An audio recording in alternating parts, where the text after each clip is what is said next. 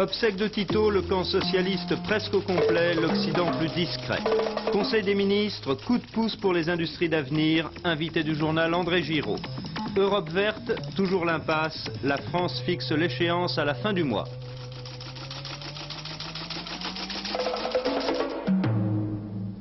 Madame, Monsieur, bonsoir. Au-delà de sa vie, le maréchal Tito aura réussi une dernière performance politique, celle de réunir à ses obsèques les frères ennemis du communisme, la Chine et l'Union soviétique. En effet, après M. Feng hier, M. Brejnev est arrivé cet après-midi à Belgrade pour assister aux obsèques du chef de l'État yougoslave qui auront lieu demain. La présence des leaders chinois et russes et l'importance des délégations venues du monde entier prouvent, s'il en était besoin, à quel point la Yougoslavie est la convergence d'intérêts politiques différents. De Belgrade, l'un de nos envoyés spéciaux, Georges Bortoli. Ils vont faire euh, plus d'un kilomètre à travers Belgrade. Ils attendent 6 heures, 7 heures pour passer peut-être 30 secondes devant le cercueil de Tito. Ils viennent des usines, ils viennent des différents quartiers de la ville, soigneusement organisés et encadrés.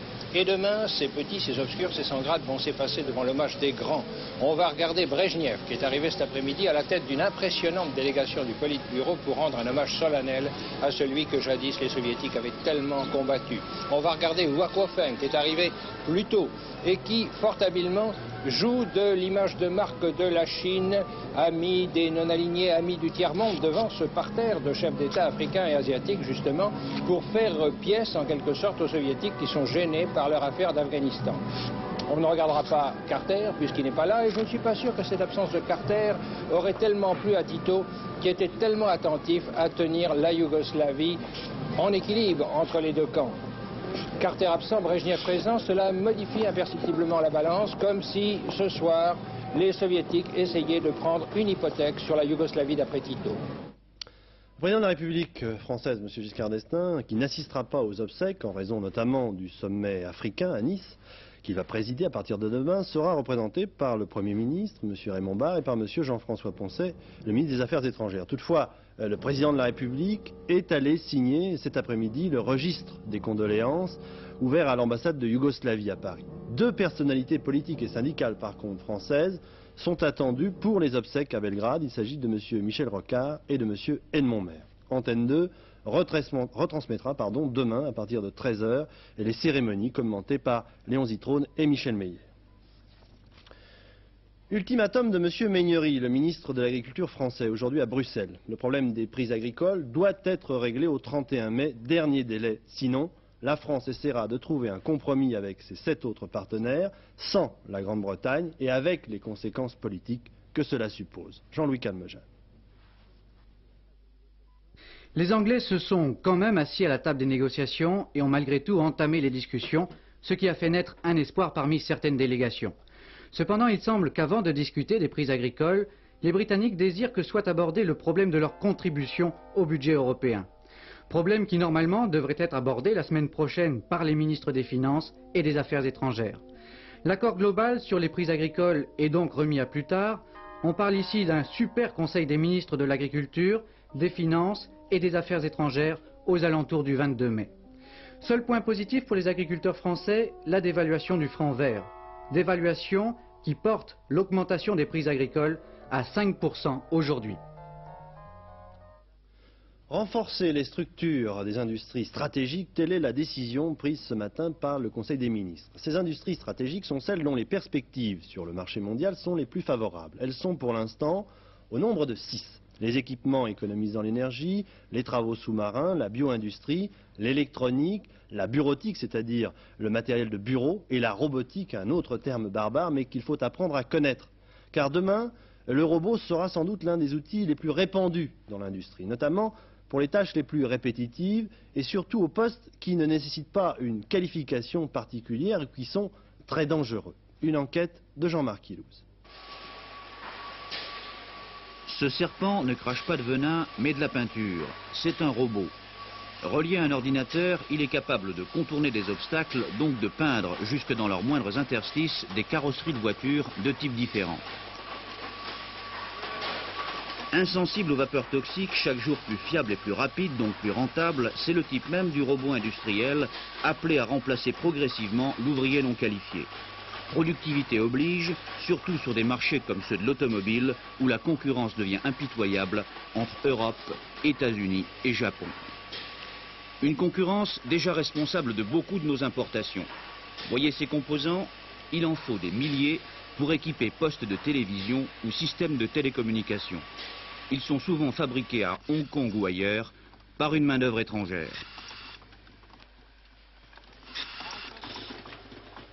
Grâce à ces robots simples mis au point dans cette usine de Besançon, il est désormais possible d'assembler plus de 1000 pièces à l'heure, contacteurs et connecteurs sont triés, orientés, sertis automatiquement.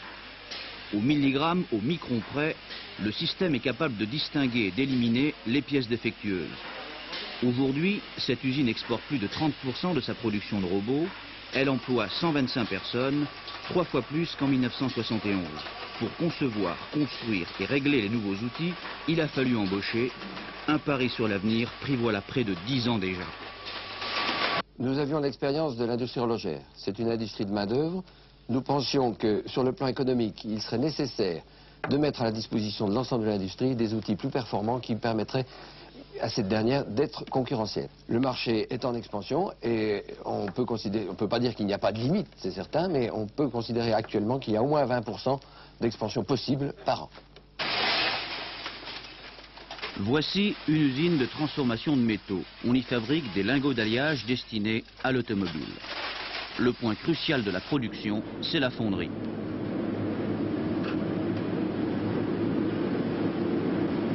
Ici, la température ambiante atteint souvent 40 degrés.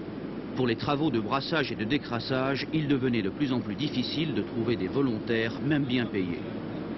Aujourd'hui, un seul opérateur suffit au lieu de deux, grâce à ce manipulateur capable de reproduire exactement et surtout de décupler les efforts du bras humain.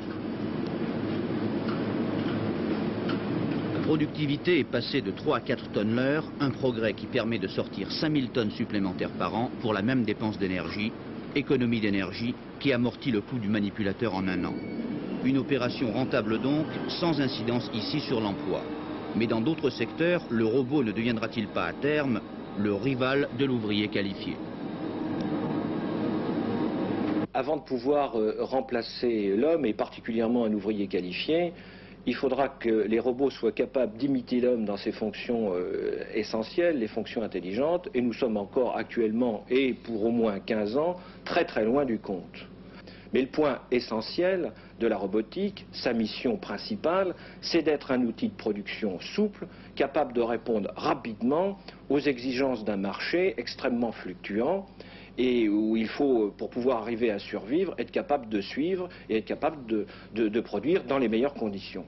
La robotique maintenant est une absolue nécessité. Si on ne se robotise pas, ce sera les Japonais qui nous robotiseront.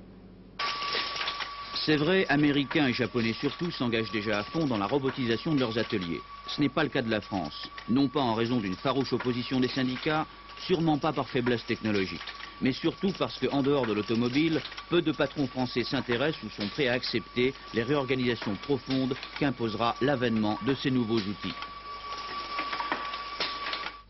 Monsieur Giraud, merci d'être avec nous en direct. Première question, quelle est la signification, Monsieur Giraud, de ce choix et pourquoi ces six industries plus particulièrement? Bien, nous vivons actuellement un certain nombre d'événements qui sont en train de modeler l'industrie de demain. De la même façon qu'on a vu naître un jour euh, l'industrie euh, de l'aéronautique, euh, parce qu'il commençait à y avoir des avions, nous commençons à voir naître l'industrie des travaux sous-marins par le développement de l'exploitation des océans. Nous voyons naître sous nos yeux cette industrie de la robotique que vous venez de présenter, qui va modeler intégralement euh, l'industrie mondiale progressivement, de la même façon que les machines se sont introduites un jour dans les ateliers et euh, sont en train de naître aujourd'hui des industries euh, par exemple dans le domaine de l'électronique grand public, euh, qui seront dans quelques années aussi importantes que l'industrie de l'automobile. Alors euh, notre problème, notre intention, c'est de faire en sorte que la France se place sur ces créneaux et qu'elle soit à même d'être véritablement présente et au tout premier rang dans ces industries nouvelles qui vont être demain les industries Bien alors concrètement, quelle aide allez-vous apporter à ces industries? Bien, je crois qu'il y a d'abord euh, et avant tout une prise de conscience de ces orientations stratégiques. Il n'est pas facile de détecter, parmi euh, tous les événements qui se produisent, il n'est pas facile de détecter ceux auxquels on doit justement accorder la plus grande attention. Vous me disiez tout à l'heure pourquoi ces thèmes, je pourrais euh, vous, répondre, vous répondre sur chacun d'entre eux, parce que des comités compétents, de, fonctionnaires qui ont travaillé beaucoup avec les industriels, avec les savants, euh, ont, euh, avec euh, soin, justement, défini ces orientations. Oui, alors justement, je vous interromps, Monsieur le Ministre. Pourquoi pas, par exemple, comme secteur stratégique, pourquoi pas l'automobile, les travaux publics ou le bâtiment, qui sont aussi créateurs d'emplois? Vous allez faire des jaloux chez les industriels, ça on le sait déjà. Non, il ne faut pas oublier que la règle d'or de l'industrie française, c'est que chaque entreprise doit faire ce qu'elle estime devoir faire. C'est ça qui doit se produire et non pas euh, cette opération un peu bizarre que nous avons connue pendant un certain temps où les fonctionnaires se substituent aux chefs d'entreprise. C'est justement ce que nous ne voulons pas. Ceci étant, je crois qu'il est dans les responsabilités de l'État de prendre position sur euh, les orientations stratégiques. L'automobile, c'est quelque chose de connu, c'est quelque chose qui a pris euh, sa vitesse de croisière. nous savons bien entendu que l'automobile va évoluer il y a pour cela des, moyens du côté de la recherche, par exemple, dans la recherche des euh, plus faibles économies de, combustible. Oui, je vous posais tout à l'heure la question pour les travaux publics parce que je sais que récemment, les responsables des travaux publics, des syndicats professionnels des travaux publics, vous ont fait savoir et vous ont demandé pourquoi eux n'étaient pas considérés comme un secteur stratégique, car ils connaissent des difficultés et auraient besoin de l'aide du gouvernement peut-être. Mais les secteurs en difficulté ne sont pas forcément les secteurs stratégiques, de même que les secteurs stratégiques ne sont pas forcément des secteurs de pointe. Si euh, les euh, industriels des travaux publics ont euh, une idée de la définition de ce que sera leur industrie dans dix ans, de l'orientation qu'elle va suivre, nous sommes certainement prêts à examiner en quoi elles ont besoin de l'État. Mais pourquoi auraient-elles besoin de l'État Pour commencer, je crois qu'il faut d'abord se poser la question. Bien, alors Monsieur Giraud, une question à laquelle vous n'échappez jamais lorsque vous êtes à la télévision. Vous êtes un petit peu le ministre de l'essence. Il y a une réunion en ce moment de l'OPEP euh, avec peut-être une possibilité d'indexation du prix du pétrole sur un certain nombre de monnaies. Oui, les dépêches que j'ai vues jusqu'ici ne donnent euh, aucune nouvelle sur euh, cette réunion et je n'ai par conséquent pas de possibilité. Est-ce que vous êtes favorable à un système comme celui-là? Oh, je serais certainement favorable à tout système qui euh, revêtirait une cohérence internationale et qui permettrait par conséquent aux évolutions qui doivent se produire de se produire de façon harmonieuse. Il est tout à fait évident que je ne peux pas être favorable à une mesure isolée qui aurait un intérêt simplement pour une seule catégorie. Mais est-ce que vous êtes favorable à ce système d'indexation? Est-ce que ça vous paraît euh, une, bonne idée. Je vous dis, dans le cadre d'opérations globales où les intérêts de tout le monde seraient pris en compte, pourquoi pas Dernière question tout aussi traditionnelle que je vous pose à chaque fois.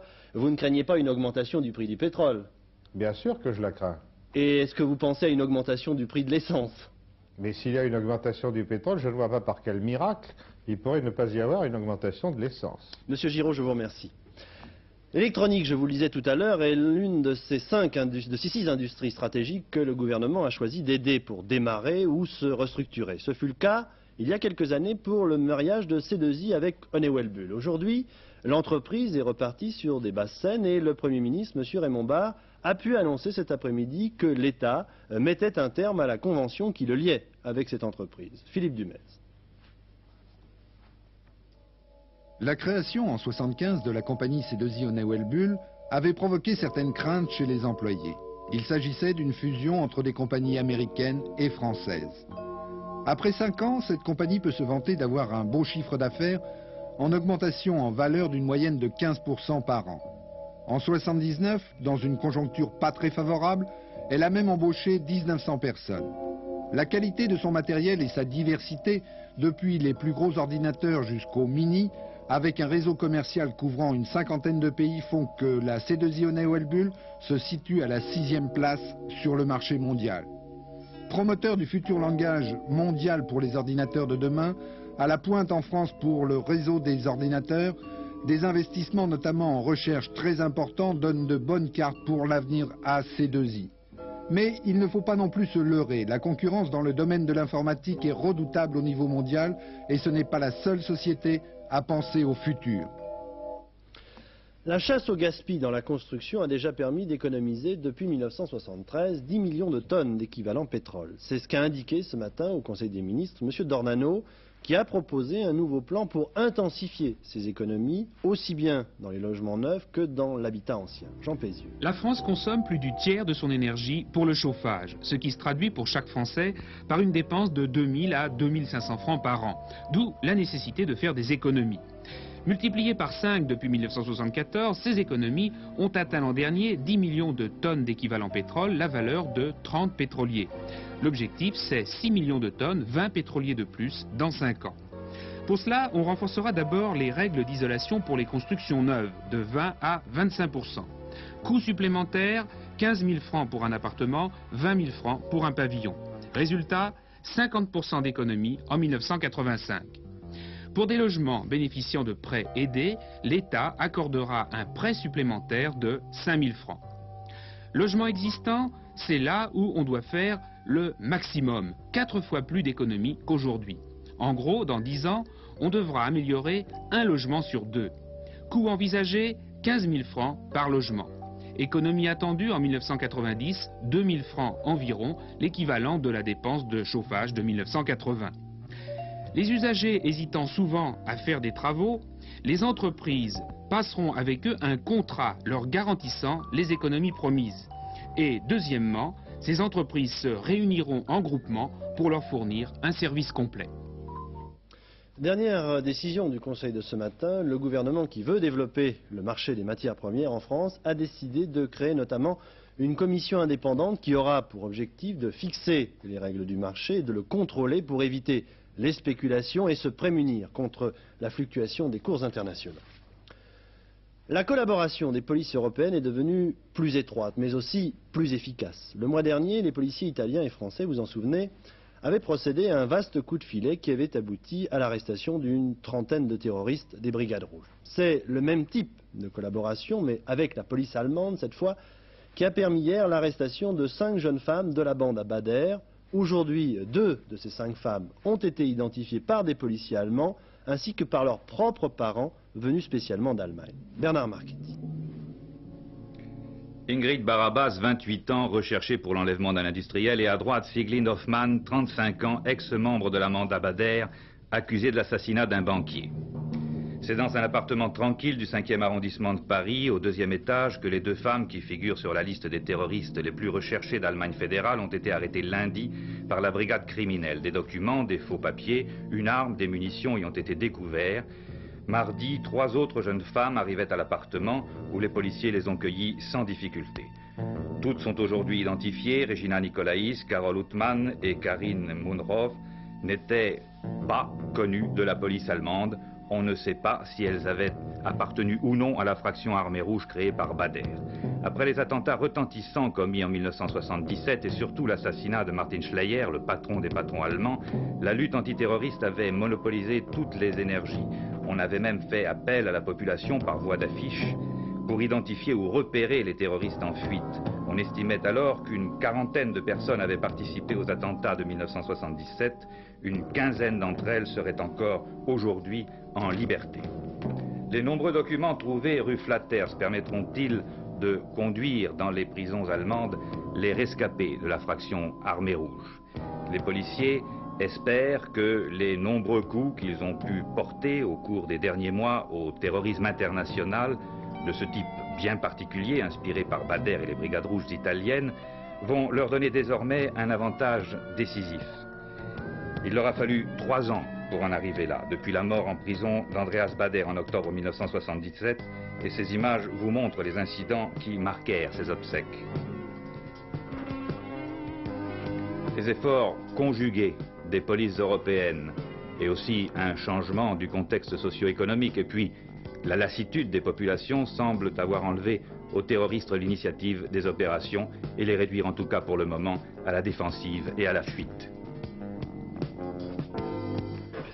Bilan définitif de la prise d'otage de l'ambassade d'Iran à Londres, sept morts, dont cinq membres du commando et deux otages. En effet, la police a retrouvé ce matin trois cadavres dans les décombres de l'ambassade.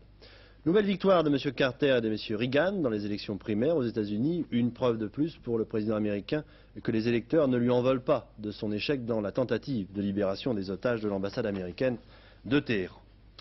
Les douaniers français ont bloqué aujourd'hui pendant une heure les postes frontières avec la Suisse. Ils entendaient ainsi protester contre l'incarcération depuis le 15 avril à Berne de deux de leurs collègues poursuivis pour espionnage économique par les autorités helvétiques.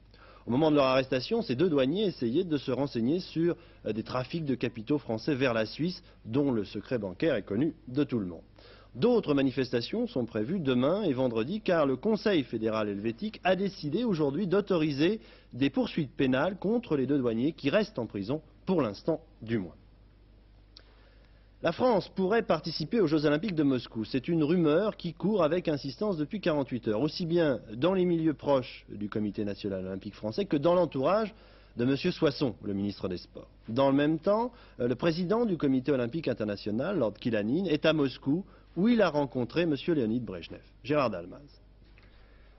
Moscou, ce matin, visite surprise de Lord Kelenin, accompagné de Monique Berliou, directrice du CIO. Lord Kelenin est venu apporter la bonne parole olympique à Leonid Brezhnev. Il voulait expliquer au numéro 1 soviétique qu'un certain nombre de pays, en particulier d'Europe de l'Ouest, sont prêts à participer aux Jeux à condition que Moscou respecte les souhaits exprimés par la France samedi à Rome, drapeau et hymne olympique et aucun discours politique. Poursuite du voyage de Jean-Paul II en Afrique avec une étape dans une première nation anglophone, le Kenya. Ce pays avait été choisi par le pape parce que la liberté religieuse y est totale et que le chef de l'État est un chrétien fervent. Le Saint-Père avait aussi voulu venir à Nairobi pour dénoncer tous les racismes et plaider pour les droits de l'homme. Après plusieurs rencontres œcuméniques, le pape s'envolera demain matin pour le Ghana.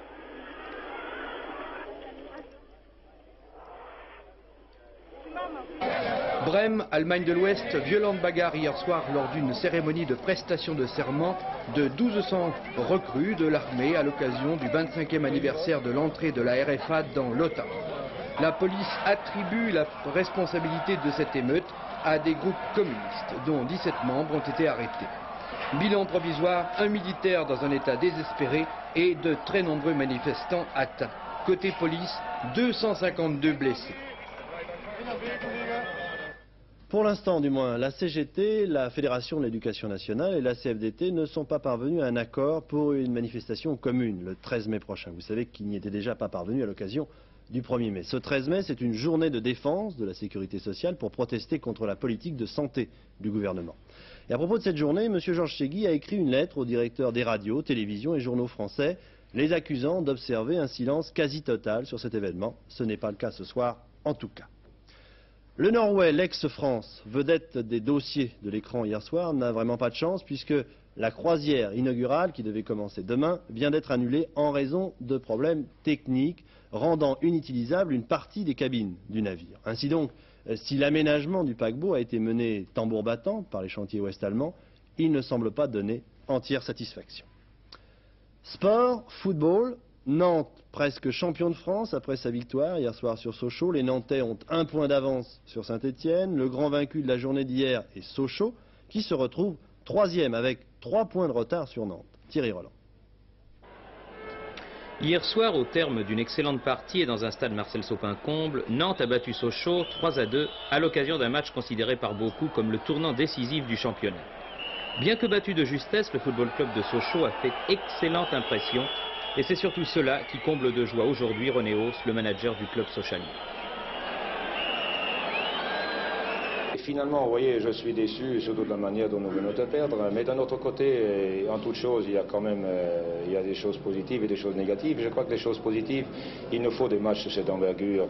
Et parce que là, on n'a pas le droit, on pas le droit de faire des erreurs. La moindre erreur, on la paye, on la paye cash. Et nous faisons un peu notre apprentissage. Euh, je crois que cette année, nous avons jeté des bases. Nous avons un, fond de jeu qui est valable aussi bien à l'extérieur euh, qu'à domicile.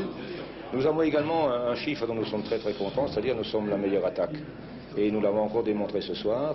Et l'année prochaine, pratiquement avec le même effectif, peut-être peut, -être à un élément près, euh, nous repartirons en, essayant de, fixer d'autres objectifs, de, rehausser encore un peu la barre. Et surtout ce qui s'est passé cette saison, on peut dire que c'est encourageant. À deux journées de la fin d'un passionnant championnat, le Football Club de Nantes, seul en tête et meilleure différence de but, est maître de son destin, avec pour l'avenir un calendrier relativement favorable. Mais le capitaine nantais Henri Michel reste lucide. Je crois qu'on ne peut pas dire que Nantes est champion. Disons que par rapport à ce show, on a fait un grand pas puisqu'on les relègue à trois points et trois points de match, ça me semble difficile à, reprendre. Par contre, Saint-Etienne est encore un point. Je crois que la prochaine, la prochaine journée sera décisive puisque nous, nous jouons à Marseille et Saint-Etienne à Bordeaux. Si on compare euh, toutes les équipes de Nantes que vous avez connues depuis maintenant pas mal d'années, vous situez euh, celle-ci, si elle est champion, à quel niveau?